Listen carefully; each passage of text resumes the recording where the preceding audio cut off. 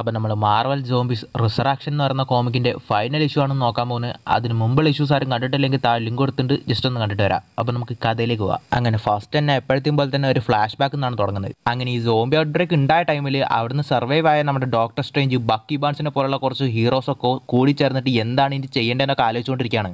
അങ്ങനെ ഇവരവിടെ ഇരിക്കുമ്പോൾ തന്നെ പെട്ടെന്ന് അവിടെയുള്ള വാർലോക്ക് ഏതോ ഒരു ഹ്യൂമൻ നമ്മുടെ അടുത്തേക്ക് വരുന്നുണ്ടെന്ന് പറയാണ്. ഈ വാർലോക്ക് എന്ന് പറഞ്ഞാൽ ഒരു ഹ്യൂമനോയിഡ് റോബോട്ട് പോലത്തെ ഒരു സാധനമാണ്. ഈ സാധനത്തിന്റെ ഒറിജിൻ നമുക്ക് സെപ്പറേറ്റ് അടിക്കുക അങ്ങനെ ആ ഹ്യൂമൻ സോംബി ആയിരിക്കും വിചാരിച്ചിട്ട് അതിന്റെ അകത്തുള്ള ഹീറോസ് ഒക്കെ ഫൈറ്റ് ചെയ്യാൻ വേണ്ടി റെഡിയാവാണ് അങ്ങനെ നമ്മുടെ ബക്കി ബാൻസ് പുള്ളിയുടെ ഗണ്ണ് വെച്ചിട്ട് എന്ത് വന്നാലും ഷൂട്ട് ചെയ്യാൻ വേണ്ടി റെഡിയാവാണ് അപ്പൊ തന്നെ ഡോക്ടർ സ്ട്രേഞ്ച് വേണ്ട ഇപ്പൊ ഷൂട്ട് ചെയ്യേണ്ടെന്ന് പറയാണ്. അങ്ങനെ ഇപ്പൊ ഇങ്ങോട്ട് വന്നിരിക്കുന്നത് വേറെ ആരുമല്ല.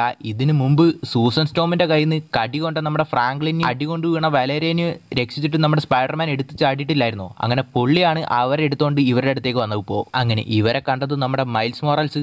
പീറ്റർ എന്ത് പറ്റിയെന്ന് ചോദിച്ചതും ആ കൂട്ടത്തിലുള്ള ഒരാൾ അവനെ ഒരു സോംബി കടിച്ചിട്ടുണ്ടെന്ന് പറയാണ്. അപ്പൊ തന്നെ നമ്മുടെ ബക്കി ബാൻസ് പീറ്ററിനോട് പറയാണ് ഇത് പറയാൻ സങ്കടമുണ്ട് പീറ്റർ. പക്ഷേ എന്നാലും പറയുക നീ അവന്റെ അടുത്തുനിന്ന് മാറി നിൽക്കുന്നു പറയാണ് ബക്കി ബാൻസ്. അപ്പൊ തന്നെ സ്പൈഡർമാൻ ഇല്ല നമുക്ക് എങ്ങനെയെങ്കിലും ഇവനെ രക്ഷിച്ചേ എന്ന് പറയാണ് പീറ്റർ പാർക്കർ. അങ്ങനെ നമ്മുടെ പീറ്റർ പാർക്കർ ഡോക്ടർ സ്ട്രേഞ്ചിനോട് പറയാണ് നിങ്ങൾക്ക് പറ്റൂ. നിങ്ങൾക്ക് ഇവനെ രക്ഷിക്കാൻ പറ്റൂലെന്ന് ചോദിക്കുകയാണ് അപ്പൊ തന്നെ നമ്മുടെ ഡോക്ടർ സ്ട്രേഞ്ച് പറയാണ് ഇല്ല പീറ്റർ. ഈ സോംബിയുടെ കടിയിൽ നിന്ന് എനിക്ക് അവനെ രക്ഷിക്കാൻ പറ്റില്ല എന്ന് പറയാണ് ഡോക്ടർ സ്ട്രേഞ്ച് അങ്ങനെ ഇത് കേട്ടത് നമ്മുടെ പീറ്റർ പാർക്കർ കരഞ്ഞോണ്ട് ദേഷ്യത്തോടെ പറയാണ് എനിക്ക് നിങ്ങളുടെ എക്സ്ക്യൂസസ് ഒന്നും കേൾക്കണ്ട ഇത്രയും പവേഴ്സ് വെച്ചിട്ട് ഒരു കൊച്ചു പയ്യനെ രക്ഷിക്കാൻ നിങ്ങൾക്കൊന്നും പറ്റൂലെന്ന് ചോദിക്കുകയാണ് നമ്മുടെ പീറ്റർ പാർക്കർ അപ്പം തന്നെ ഒരാൾ പറയാണ് എനിക്ക് പറ്റൂ. ആ പറഞ്ഞത് വേറെ ആരുമല്ല നമ്മുടെ വാർലോക്കാണ് അങ്ങനെ വാർലോക്ക് പറയാണ് എനിക്ക് പറ്റൂ. ഡോക്ടർ സ്ട്രേഞ്ചിന്റെ ഹെൽപ്പോട് കൂടി അവനെ രക്ഷിക്കാൻ എനിക്ക് പറ്റും. പക്ഷെ പീറ്റർ അത് നീ വിചാരിക്കുന്ന പോലെ ആയിരിക്കില്ല എന്നും പറയാണ് വാർലോക്ക്. അങ്ങനെ അതിനുശേഷം പിന്നെ കാണിക്കുന്നത് പ്രസന്റിൽ ഇപ്പൊ ആ ലിംബോയിൽ പെട്ടിരിക്കുന്ന നമ്മുടെ ഹീറോസിനെയാണ് കാണിക്കുന്നത്. അങ്ങനെ ഷൂസ്റ്റോം ഫ്രാങ്ക്ലിനെ എടുത്ത് ഫ്രാങ്ക്ലിനെ പിന്നെയും കടിക്കാൻ പോവാണ്. അങ്ങനെ ഫ്രാങ്ക്ലിനെ കടിച്ചതു പുള്ളിയുടെ കഴുത്തുനിന്ന് ഒരുമാതിരി വയറ് പോലത്തെ സാധനങ്ങൾ നമ്മുടെ ഷൂസ്റ്റോമിന്റെ വായിലേക്ക് വരികയാണ്. അപ്പൊ തന്നെ ഇത് കണ്ടതോ അവർ? ഇത് നമുക്ക് ആവശ്യമുള്ള ഫ്രാങ്ക്ലിൻ അല്ല. അവനെ നീ എന്താണ് ചെയ്തതെന്ന് ചോദിക്കുകയാണ് സ്പൈഡർമാനോട്. അങ്ങനെ അതേസമയം ആ കടി കൊണ്ട് ആ പുലിയുടെ ബോഡി ആ മെക്കാനിക്കൽ പാർട്സ് ഒക്കെ പുറത്തു വന്ന് നമ്മുടെ ഫ്രാങ്ക്ലിൻ താഴെ വീഴാണ്. അങ്ങനെ നമ്മുടെ ഫ്രാങ്ക്ലിൻ വീണപ്പോൾ തന്നെ പീറ്റർ എന്ന് വിളിക്കുകയാണ്. അങ്ങനെ ഫ്രാങ്ക്ലിൻ പുലിയുടെ ഈ മെക്കാനിക്കൽ ബോഡി പാർട്സ് കണ്ടതു എനിക്ക് എന്താണ് പറ്റിയതെന്ന് ചോദിക്കുകയാണ്. അപ്പോഴാണ് നമ്മുടെ ഫ്രാങ്ക്ലിനോട് സ്പൈഡർമാൻ എന്താണ് നടന്നെന്നുള്ള കാര്യം പറയുന്നത്. ഫ്രാങ്ക്ലിൻ ഇതിനു മുമ്പ് നിന്റെ അമ്മ നിന്നെ കടിച്ചപ്പോൾ നീ മരിച്ചുകൊണ്ടിരിക്കുകയായിരുന്നു അപ്പോഴാണ് വാർലോക്ക് നിനക്ക് വേണ്ടി ഒരു ടെക്നോ ഓർഗാനിക് ബോഡി ഉണ്ടാക്കിയത്. ഡോക്ടർ സ്ട്രേഞ്ചിന്റെ സഹായത്തോടെ നിന്റെ ആ കടി കൊണ്ട ഓർഗാനിക് ബോഡിയിൽ നിന്ന് നിന്റെ സോളിനെടുത്തിട്ട് വാർലോക്ക് ഉണ്ടാക്കിയ ആ ടെക്ന ഓർഗാനിക് ബോഡിയിലേക്ക് ഇട്ടു. നിന്നെ രക്ഷിക്കാൻ അതല്ലാതെ വേറെ ഒരു വഴിയും എന്ന് പറയാണ് നമ്മുടെ പീറ്റർ പാർക്കർ. അതായത് നമ്മുടെ ഫ്രാങ്ക്ലിന്റെ സോൾ അതായത് ഒറിജിനൽ സോൾ തന്നെയാണ് ഇപ്പോൾ ആ ബോഡിയിലുള്ളത്. പക്ഷേ പുള്ളിയുടെ ഒറിജിനൽ ഓർഗാനിക് ബോഡി അല്ലാത്തതുകൊണ്ടാണ് പുള്ളിക്ക് പ്രായമാവാത്തതും പുള്ളിയുടെ പവേഴ്സ് ഇല്ലാത്തതും. അപ്പം തന്നെ ഇത് കേട്ടത് സോംബിമാരെ നമ്മുടെ സൂസ്റ്റോം. നീ ഇങ്ങനെയൊന്നും ചെയ്യാൻ പാടില്ലായിരുന്നെന്ന് പറഞ്ഞിട്ട് നമ്മുടെ പീറ്റർ പാർക്കറിനെ അടിക്കാൻ വേണ്ടി പാഞ്ഞു വരികയാണ്. ആക്ച്വലി ഇപ്പം നിങ്ങൾക്ക് പലർക്കും ഒരു ഡൗട്ട് ഉണ്ടാവും. അതായത് ഈ സോംബീസ് ഒക്കെ ഈ ഫ്രാങ്ക്ലിൻ റിച്ചേർഡ്സ് എന്ന് പറഞ്ഞ ഈ ചെറുക്കന് വേണ്ടിയിട്ട് എന്തിനാണ് ഇങ്ങനെ അലിഞ്ഞടക്കുന്നതെന്നല്ലേ ഈ ഫ്രാങ്ക്ലിന്റെ പവേഴ്സ് എന്ന് പറഞ്ഞു കഴിഞ്ഞാൽ ഹൈലി ഓവർപവർഡാണ് ഇവന് റിയാലിറ്റിയെ ചേഞ്ച് ചെയ്യാനും മൾട്ടിവേഴ്സൽ ട്രാവലും എല്ലാം പറ്റൂ. അതിന് വേണ്ടിയിട്ടാണ് ഇവരെ ഈ സോംബീസ് തിരഞ്ഞെടുത്തിരിക്കുന്നത്. പക്ഷെ അത് ഇപ്പോൾ നമ്മുടെ പീറ്റർ പാർക്ക് കാരണം നടക്കൂലല്ലോ. പക്ഷെ അങ്ങനെ വന്ന സൂസ്റ്റോമിനെ കരഞ്ഞുകൊണ്ട് സോറി ഇവിടെ വന്നത് എന്റെ തെറ്റാ. പക്ഷേ ഇനി മുതൽ നിങ്ങൾ എന്റെ അമ്മയല്ല എന്ന് പറഞ്ഞിട്ട് പുള്ളിക്കാരത്തിന്റെ ഗണ്ണ് യൂസ് ചെയ്തിട്ട് സ്യൂസ്റ്റോമിനെ വെട്ടി അരിയാണ് വലേരിയ. അങ്ങനെ അതിനുശേഷം ഇവരെ ബാക്കി സോംബീസൊക്കെ അറ്റാക്ക് ചെയ്യാൻ വരുന്നത് കണ്ടതു നമ്മുടെ വലേരിയ കരഞ്ഞോണ്ട് പറഞ്ഞോണ്ട് പറയാണ് പീറ്റർ നീ പറഞ്ഞത് ശരിയാണ്. നമ്മളിങ്ങോട്ട് വരാൻ പാടില്ലായിരുന്നു. ഇപ്പം ഇനി നമുക്ക് ഇവിടുന്ന് രക്ഷപ്പെടാൻ ഒരേ ഒരു വഴി ഇവരെല്ലാം നമ്മൾ കൊന്നേ പറ്റൂ എന്ന് പറയാണ് വലേരിയ. അങ്ങനെ ഈ സോംബീസൊക്കെ ഇവർ അറ്റാക്ക് ചെയ്യാൻ വരുന്നത് ഇവർ ഫൈറ്റ് ചെയ്യാൻ റെഡി ആയതു. അപ്പം തന്നെ ഇവരുടെ കൂടെ ഉണ്ടായിരുന്ന ആ ഊസ് എന്ന് പറയുന്ന ആ പൂച്ച ഛർദ്ദിക്കാണ് അങ്ങനെ ആ ഛർദ്ദിച്ചപ്പോൾ ഇവരെ ആ വിവിന്റെ അവിടെ ഉണ്ടായിരുന്നപ്പോൾ ഒരുപാട് റോബോട്ട്സ് പോലത്തെ സാധനങ്ങൾ അറ്റാക്ക് ചെയ്യാൻ വന്നില്ലേ? അതിനൊക്കെ ഈ ഗൂസ് വിഴുങ്ങിയിട്ടുണ്ടാവില്ലേ ആ റോബോട്ട്സിനെയാണ് ഇപ്പോൾ ഈ ഗൂസ് ഇവിടെ ഛർദ്ദിച്ചിരിക്കുന്നത്. അങ്ങനെ ആ റോബോട്ട്സ് ഇവരുമായിട്ട് ചേർന്ന് ആ സോംബീസിനെ ഫൈറ്റ് ചെയ്യാൻ നോക്കുകയാണ് അതേസമയം ഇപ്പുറത്ത് നമ്മുടെ പീറ്റർ പാർക്കറിന്റെ അടുത്തേക്ക് സോംബിയായി മാറിയ എം ജെ വന്നിട്ട് പറയാണ് പീറ്റർ നീ വാ. ഞങ്ങളുടെ കൂടെ ചേർന്നേക്ക് വി ക്യാൻ ബി ബെറ്റർ ഇനി ഒരിക്കലും നീ എന്നെ വിട്ട് പോകരുതെന്നൊക്കെ പറയാണ് നമ്മുടെ എം ജെ. അതേസമയം ഇപ്പുറത്ത് പൊരിഞ്ഞ ഫൈറ്റ് അടക്കാണ് നമ്മുടെ ബ്ലേഡ് ആണെങ്കിൽ സന്തോഷത്തോടെ ഫൈറ്റ് ചെയ്യാണ്. കാരണം പുള്ളി ഇങ്ങോട്ട് വന്ന തന്നെ എന്തിനാണ് ഫൈറ്റ് ചെയ്യാൻ വേണ്ടിയിട്ടാണ്. അപ്പം തന്നെ മാജിക് പുള്ളിക്കാരത്തിന്റെ വാൾ യൂസ് ചെയ്തിട്ട് ബ്ലേഡിനെ അടിച്ച് തെറുപ്പിക്കുകയാണ്. അങ്ങനെ അടികൊണ്ട് കിടക്കുന്ന ബ്ലേഡിന്റെ അടുത്തേക്ക് മാജിക് ആ വാളും കൊണ്ട് വെട്ടാൻ വരുമ്പം തന്നെ ഒരു വോയിസ് വെക്കാണ് എന്നോട് ക്ഷമിക്കണം മോളെ. പക്ഷേ എനിക്ക് വേറെ വഴിയില്ല എന്ന് പറഞ്ഞിട്ട് നേരത്തെ അവശനായി വീണർത്തം നമ്മുടെ വൂൾവറിൻ എണീറ്റ് പുള്ളിയുടെ ക്ലോസ് ആക്ടിവേറ്റ് ചെയ്ത് ആ മാജിക്കിന്റെ തല വെട്ടി അരിയാണ്. അതേസമയം നമ്മുടെ ഫ്രാങ്ക്ലിൻ ആ നിലത്ത് വീണ ആ മാജിക്കിന്റെ ആ വാളിന്റെ അടുത്തേക്ക് മെല്ലെ ഇഴഞ്ഞു പോയിക്കൊണ്ടിരിക്കുകയാണ്. അപ്പം തന്നെ നമ്മുടെ വലേരിയ ആ ഗലാക്ടസിനെ ചൂണ്ടിക്കാണിച്ചിട്ട് പറയാണ് ഗായ്സ് ഗലാക്ടസിന്റെ ഹൈവ് നമുക്കത് നശിപ്പിച്ചേ പറ്റൂ എന്ന് പറയാണ് മലേരിയ ഏകദേശം ഇപ്പുറത്ത് നമ്മുടെ എം ജെ പീറ്റർ പാർക്കറിനെ ഓരോ കാര്യങ്ങളൊക്കെ പറഞ്ഞ് മാനിപ്പുലേറ്റ് ചെയ്യാൻ വേണ്ടി ശ്രമിച്ചുകൊണ്ടിരിക്കുകയാണ് അപ്പം തന്നെ നമ്മുടെ വലേരിയും ബ്ലേഡൊക്കെ ആ നാന എന്ന് പറയുന്ന റോബോട്ടിന്റെ ദേഹത്ത് കയറിയിട്ട് പറയാണ് പീറ്റർ അവൾ പറയുന്നൊന്നും കേൾക്കരുത്. അവൾ നിന്റെ എം ജെ അല്ല ഇനി മുതൽ ഇവരാരും ഈ നമ്മുടെ ഫാമിലി അല്ല എന്ന് പറയാണ് വലേരിയ. അപ്പം തന്നെ നമ്മുടെ പീറ്റർ പാർക്കർ അതെ ഇനി മുതൽ ഇവർ നമ്മുടെ ഫാമിലി അല്ല. പക്ഷേ എവിടെയായിരുന്നാലും I love you M J എന്ന് പറഞ്ഞിട്ട് എം ജെയുടെ അടുത്ത് ഓടി പോവാണ് നമ്മുടെ പീറ്റർ പാർക്കർ അങ്ങനെ രണ്ട് കഷ്ണമായി കീറി കിടക്കുകയാണെങ്കിലും ആ പകുതി മാത്രമുള്ള ആ നാന എന്ന് പറയുന്ന ആ റോബോട്ട് ഇവരെല്ലാം ചേർത്ത് ആ ഗലാക്ടസിന്റെ ഹൈവേയിലേക്ക് പറന്നു പോകാൻ തുടങ്ങാണ്. അങ്ങനെ ഇവർ പറന്ന് പോയിക്കൊണ്ടിരിക്കുമ്പോൾ തന്നെ നമ്മുടെ പീറ്റർ പാർക്കർ വലേരിയനോട് വലേരിയ നമ്മൾ അവിടെ എത്തിക്കഴിഞ്ഞാൽ നിന്റെ പ്ലാൻ എന്താണെന്ന് ചോദിക്കാണ്. അപ്പം തന്നെ വലേരിയ അതിന് നമ്മൾ ആദ്യം അവിടെ എത്തട്ടെ എന്നിട്ടല്ലേ ബാക്കി എന്ന് ചോദിക്കുകയാണ് അങ്ങനെ ഈ നാന പറന്നുകൊണ്ടിരിക്കുമ്പോൾ തന്നെ ബാക്കി എല്ലാ സോംബീസും ഇവരെ അറ്റാക്ക് ചെയ്യാൻ വന്നുകൊണ്ടിരിക്കുകയാണ് അപ്പം തന്നെ നമ്മുടെ ഫ്രാങ്ക്ലിൻ നാന കൂടുതൽ സ്പീഡിൽ പോകുമെന്ന് പറഞ്ഞതു?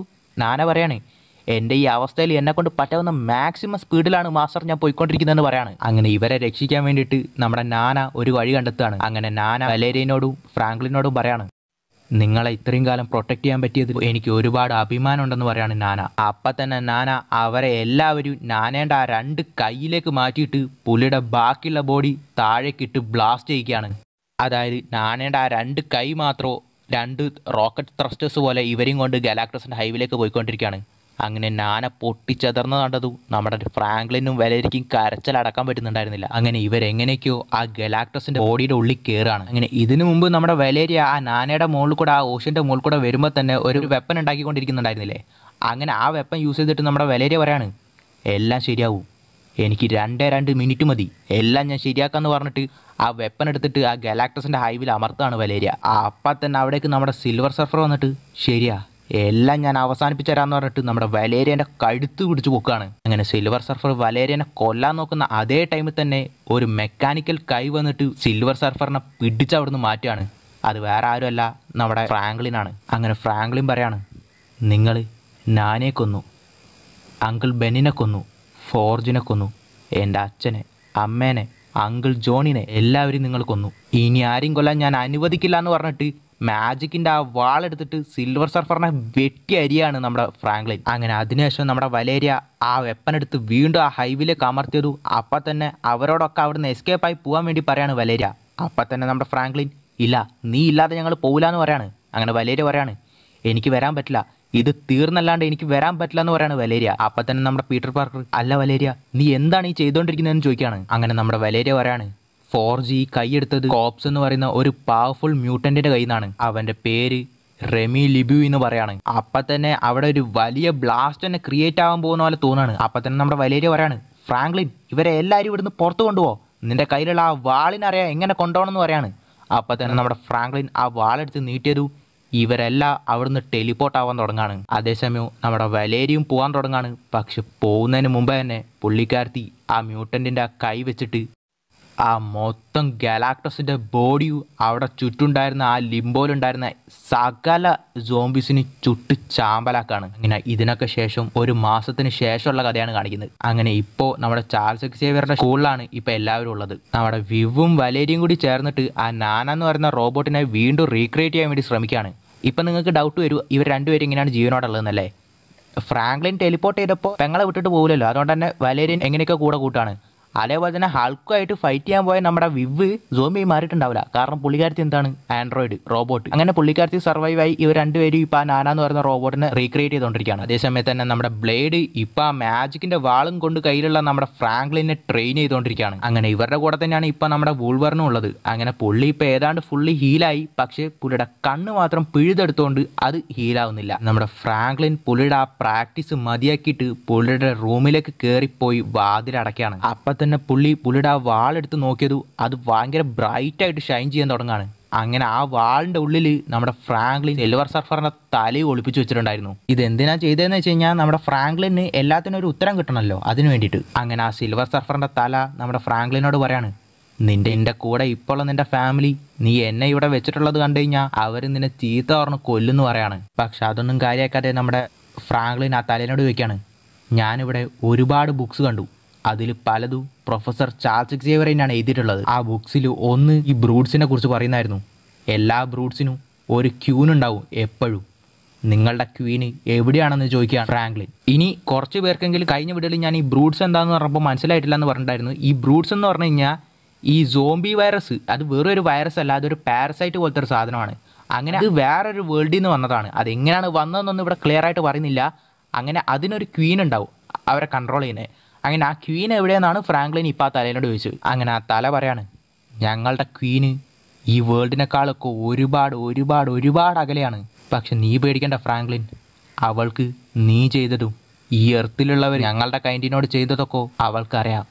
അവൾ നിങ്ങൾക്ക് വേണ്ടി വന്നുകൊണ്ടിരിക്കുകയാണെന്ന് പറയാണ് സിൽവർ സർഫറിന്റെ ആ സോംബിയായി മാറിയ തല. അതേസമയം തന്നെ ജനലിൽ കൂടെ ആകാശത്ത് വലിയൊരു നക്ഷത്രം പോലെ എന്തോന്ന് മിന്നിത്തിളങ്ങി ഇങ്ങോട്ട് വരുന്നത് പോലെ കാണിക്കുകയാണ് അങ്ങനെ അവിടെ ഈ കോമിക്ക് തീരുകയാണ് ഇപ്പം നിങ്ങൾക്ക് തോന്നും അതാരാണ് ലാസ്റ്റ് അങ്ങോട്ട് വന്നുകൊണ്ടിരിക്കുന്നതെന്നല്ലേ ആ ആംഗിളും ബ്രൈറ്റ്നസ്സും അതിന്റെ ഡിസൈനൊക്കെ വെച്ചിട്ട് ആരായിട്ടാണ് നിങ്ങൾക്ക് തോന്നുന്നത്? എന്തായാലും ഇതിന്റെ കണ്ടിന്യൂഷൻ ഇതുവരെ ഇറങ്ങിയിട്ടില്ല. ഇറങ്ങിയാൽ ഞാൻ ചെയ്യാം.